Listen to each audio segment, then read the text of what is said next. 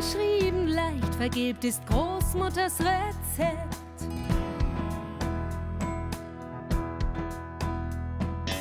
Apfelpflaumen, Streuselkuchen, wie das heute noch schmeckt.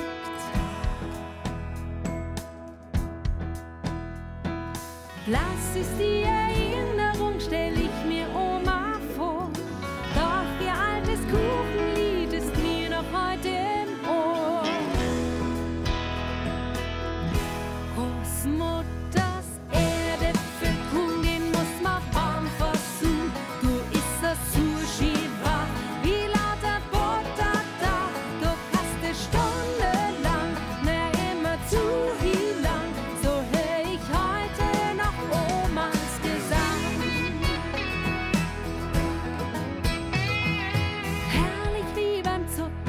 Zuckerbäcker war's bei Oma grad.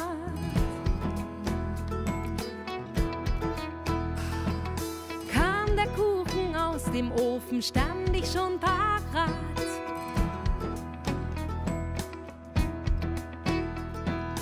Ach, was war das für ein Duften, was geb ich dafür? Hätte ich heute den Kuchen von der Oma noch mal